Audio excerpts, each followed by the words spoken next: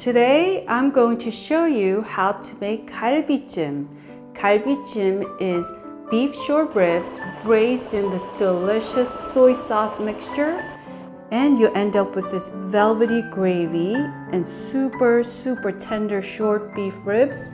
Galbijjim is a super super popular celebratory dish that is served on holidays. We call that 명절 and also on birthdays and for any special occasion.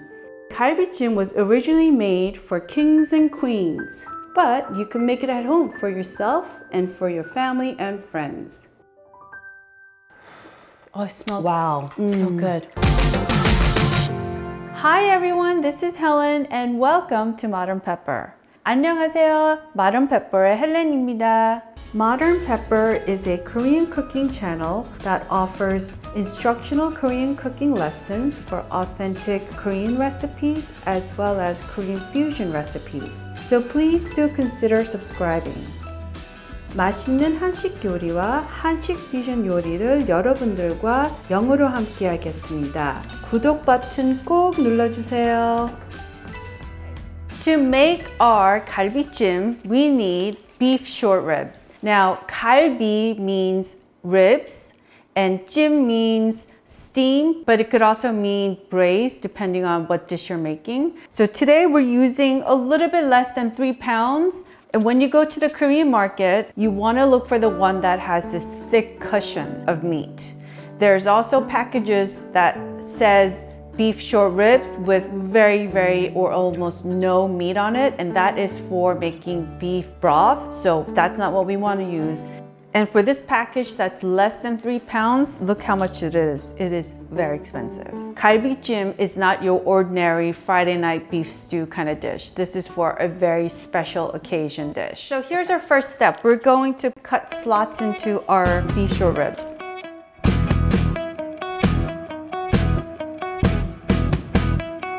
You want to make the cut so that it's not too deep, just very shallow, not going in more than that.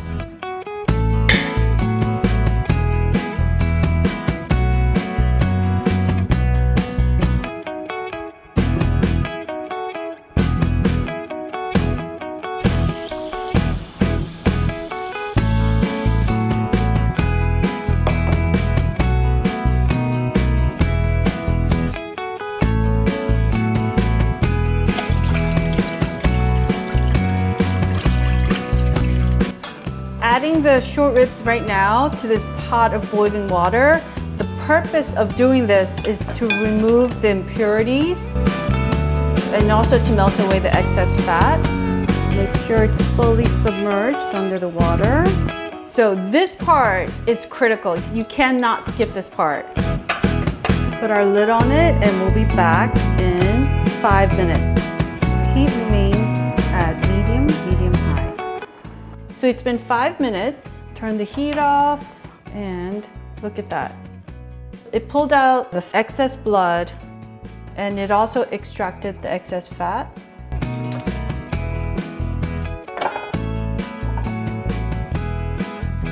Quickly add some cold water and just pick it up and just rinse off any blood gunk that might be attached to this.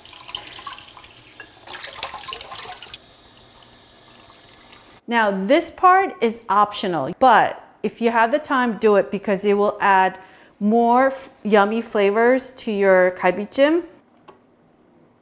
So I want you to see how much excess blood my towel just pulled off and look at the plate. So this process of removing and drawing out the excess blood is really, really important if you want your galbijjim to taste really clean and yummy.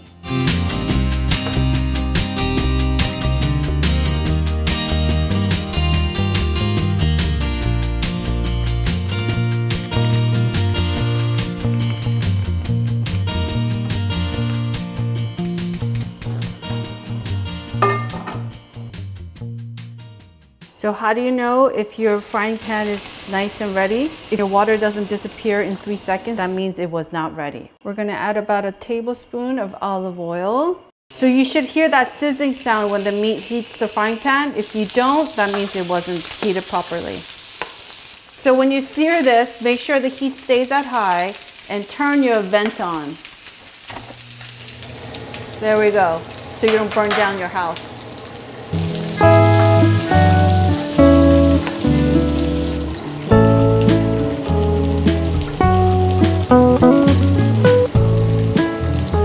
To sear it until you see that really nice dark chocolate brown mark on the bone and also on the meat.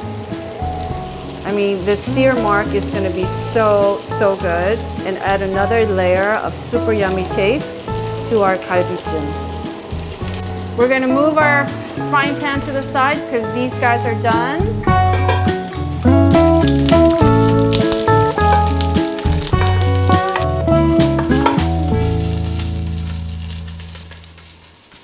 With our heat remaining high, we're going to start adding some hot water. We're adding eight cups of water and you want to fill the water so that it is not fully submerging your beef ribs, but just enough so that it's sort of at the tip, that much. And half a cup of soy sauce, preferably jin kanjang, that's Korean jin soy sauce, but all-purpose soy sauce will work too. We're gonna put our lid on it and then we're gonna turn our heat down, medium, and come back in 15 minutes. All right, so while our ribs are simmering away, let's quickly go over the vegetables that we need. We need a Korean radish. Use about three finger length of your Korean radish.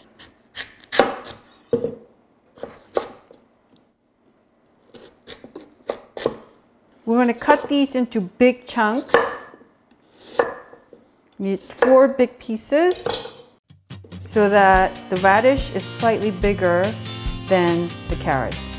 Adding Korean radish is essential to making that delicious galbijjim um, gravy that is so yum.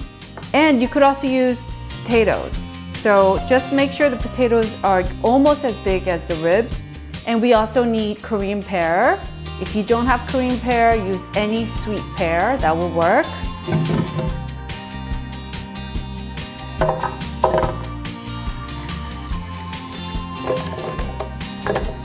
I want you to puree this right before you, we add it to the pot, okay? Because galbijjim is so gourmet, it's also part of gungjung yori, which means gourmet dishes that were originally made for kings and queens. Now, there are so many upgrade vegetables and ingredients that you could add. So this is optional. Daechu is your dried jujubes. These you could just snack on.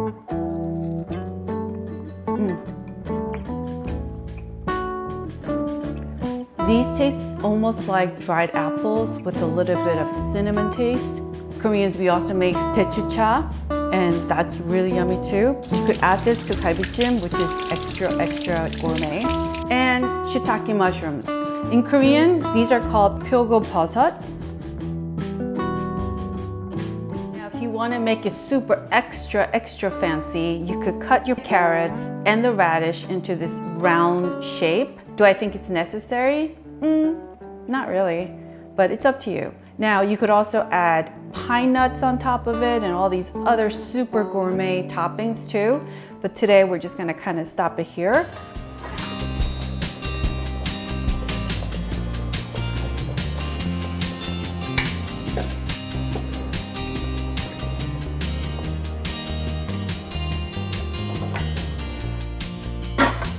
Turn up the heat to medium high now. And 15 minutes later, we'll be back.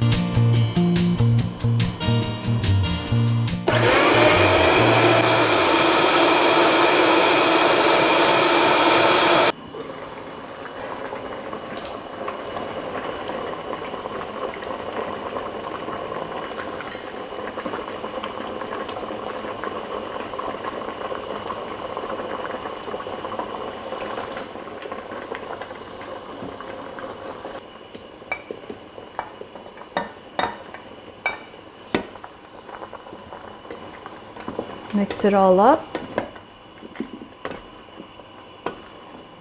Right now, my house smells so good. Everyone's like, what does this smell? What does this smell? I'm like, you can't have any, not yet, not until I'm done filming. Do not put the lid on. Right now, the heat is at super high and we're gonna let this liquid reduce almost in half. So I want you to see, it's been less than 10 minutes. Look how much the liquid reduced. So you wanna reduce it down to about half. Oh, yum. All right. So I have two upgrades that I'm gonna share with you. So one is butter. Yes, it's not traditional uh, ingredient when you make Korean food, but you want to make it taste extra, extra yummy, butter. So one tablespoon of butter. And I have sogogi dashida. This is Korean bouillon powder. You don't have to add this. But if you add it, it will taste like how it's made at the restaurant. I mean, it will take it to another level of ta-da, yumminess. So this is very salty too, so keep that in mind. So I'm gonna start with half a tablespoon, and I think that'll be enough. And then just mix it. Be gentle. Oh, look at that liquid. See the butter? As soon as the butter melts, this is done. Just mix it one more time, gently.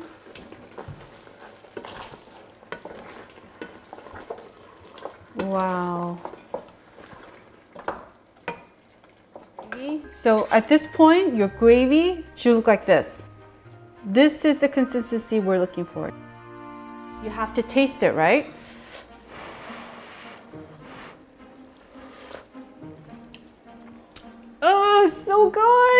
Oh my God, it's so good. The sweetness is perfect for me. The saltiness is perfect for me. But if you like it sweeter, add more brown sugar. Galbijjim, folks, is not meant to be overly sweet either, so keep that in mind. Yay! Now it's time for plating.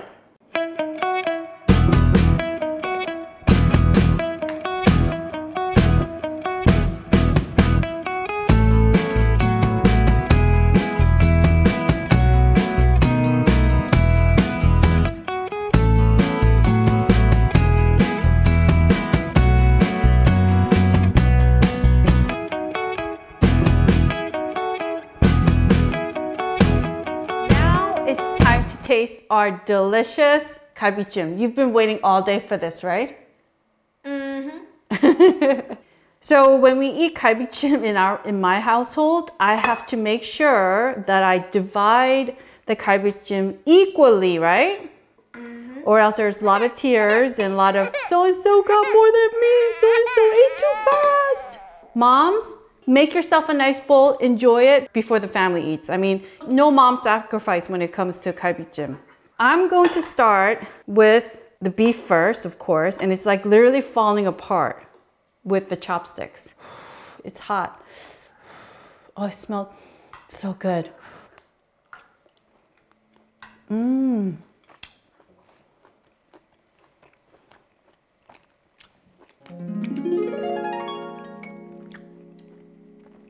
There are no words to describe how delicious this beef short ribs are. It's just, it's not too soft that it's just like falling apart completely, but it still has a little bit of texture, but it is so moist. And then the seasoning, what do you think? Very good. Very good, right? And of course the potato. I'm gonna eat the potato next. Mmm. The potatoes are like melting in my mouth. It's like so pillowy, so nice. I mean, another reason why I add potatoes when I make galbijjim, a lot of people do it too, is because this is how you kind of get more mileage out of your galbijjim. Let's taste the mushroom. Mmm, wow. The mushroom is just so moist, it's meaty in texture, and it's sucked up all the seasoning. Wow, it's just really, really yummy. Mm, I know. Really, really, really, really yummy. so I like to mix it all up with the sauce and some potato and some kimchi. I mean, kimchi is a must. This is a big bite. I don't know what I'm doing. oh. Mmm.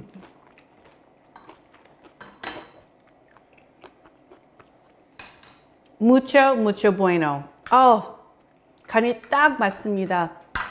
Alright, now let's make a perfect bite with everything on it, James. Okay. And we top it off with a piece of kimchi, always. Cheers! oh, this is so big. Oh, you did it? All right, it's my turn. Oh. 음, 음, 음, 음, 음. 여러분 간이 딱 맞습니다. 고기는 쫄깃쫄깃하고 음, 음. Now the written recipe for today's galbijjim, it's on my website at modernpepper.com and I'll have the blog link in the description box below so make sure to check it out. And all the Korean ingredients that we use today will also be on that recipe blog as well as in the description box. So if you can't get to a Korean market, order it online. And I want to say thank you so much for watching and if you enjoyed watching today's video, thumbs up button would be greatly, greatly appreciated. And if you did not subscribe, subscribe so we can make more Korean dishes together, right? Mm-hmm. 여러분 오늘 재밌게 보셨으면 꼭 좋아하는 버튼 눌러주세요. 감사합니다. Okay, so make sure to check out these other videos right here, LA Galbi, and I will see you in the next video.